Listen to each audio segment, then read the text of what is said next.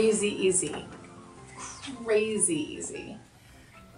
My name is Moxie and I'm a needle felting artist. Um, I sculpt with wool and I've been doing it for six or seven years now and uh, the good people at Skacel have invited me to play with the addiQuick which I have been calling the amazing robotic felting machine because it's really fast.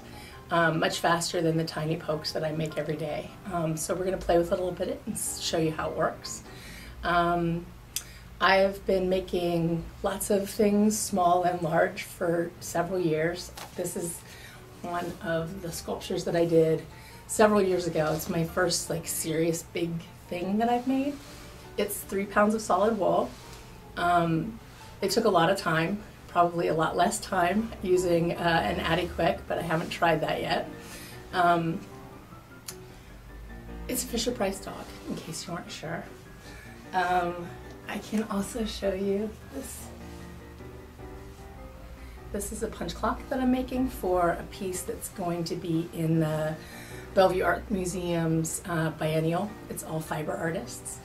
Um, it doesn't have hands for a reason. Um, and I'm really excited to be a part of that show. And then I've also been told to share my book with you. I wrote this for you. It's called I Felt Awesome, and it has 35 projects in it, including um, lots of basic techniques, because I'm a big fan of teaching people how to do this, um, sort of like evangelical style. Um, I want to spread the good news about needle felting.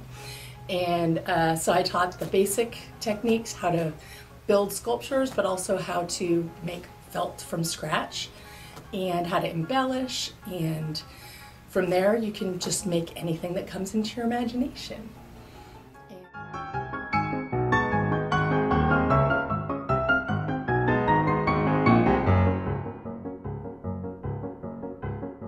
So, having seen this tool now, and I know you've been felting how many years?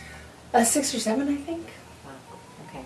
Um, does it give you ideas to do different things at all? Well, does part of the yes, part of the thing that I like to do is um, I'm just driven to make wool do impossible things. I like to go large and dense, and it's all by hand. Yes, There's the yes. dog. I, the dog. I know. This um, dog is amazing. Thank you. That's that's three He's pounds so of heavy. solid wool. I know. He's just like. So while it will, it's a time saver in the sense that building that bulk would take less time. For me, that just makes me want to go to the next level of what my dreams are. So, you know, given the opportunity, you know, life-size Easter Island, something like that. and, Why don't uh, start with life-size, like, baby elephant first? That'd be fun. or maybe just a full-size tractor if we really want to go for it. Ooh. Yeah, I have dreams.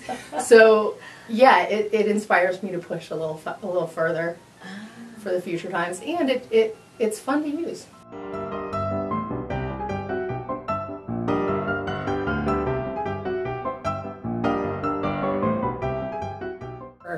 This is magic in, um, in terms of the um, embellishment. It just, it's so, it's like, it feels like you're painting.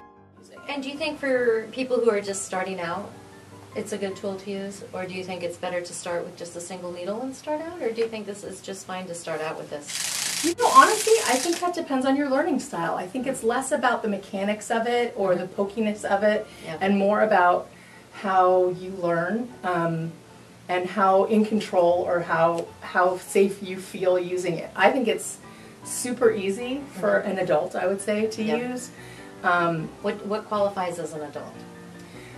Um, someone, some probably over fourteen. I, I mean, you're really say forty. no, I know. I really haven't gotten there myself, uh, adult wise, but Ooh, I no, I think it's really all about whether you can remember to watch your hands and okay. remember to be safe, mm-hmm. and that can you know you can teach a sixty year old who doesn't know how to do that, but so over thirteen, I think, is probably an adult in that way.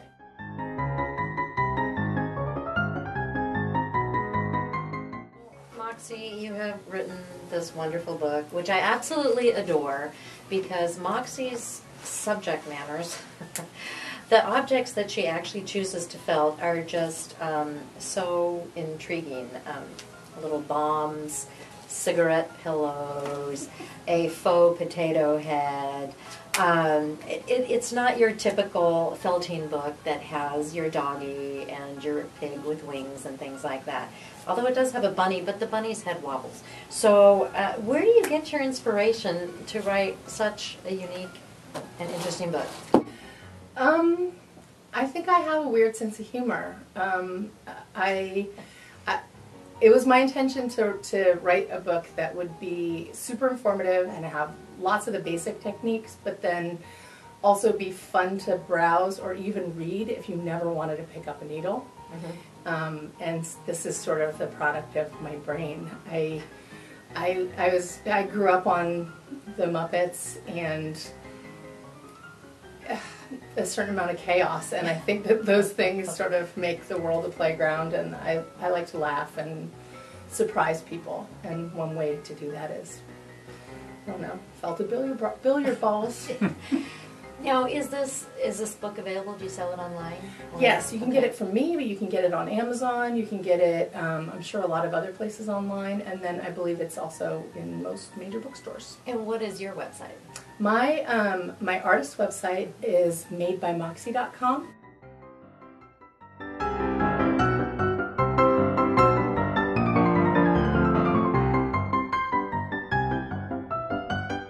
I've always used the metaphor that you know, you're sculpting with wool instead of with clay. And when I was using that day when I was trying it out, yeah. it really that metaphor was strong for me because once you build a certain amount of thickness, you're really able to manipulate it smoothly. It it smooshes into where you want it to go and it feels different in your hand than it does when you're just poking with one needle. Right. Um, but then when you're doing the embellishments, it feels like you're painting it on because, again, it's just really a smooth action and it's really satisfying. And I think the reason it's so smooth is because this needle actually comes in and out 2,500 times a minute. I mean, it's that's crazy. A, yeah, it is crazy. Um, did you have any fear of the tool at first? Um, I wondered at first, and I, I wondered especially for people who may have never needle felted at all what right. it would be like but um, it's actually safer in a certain way. I rarely poke myself. Um, I'm pretty good about my little, uh, you know, always watch your hands is yeah. really the 90% rule. But um, because you have control over where it's going, mm-hmm. if you're if, if you're careful, when you're when you're poking this way, sort of like a hammer, it's not hard to come down in the wrong spot, mm-hmm. and so that can be less predictable. Where with the addiQuick, you're you're pushing it, and so you always know where your hand is going. Mm-hmm. You know, there's always chance, but um, I felt it, it was safer. It was easier in that sense. Now I noticed. Um, how did how were you holding it?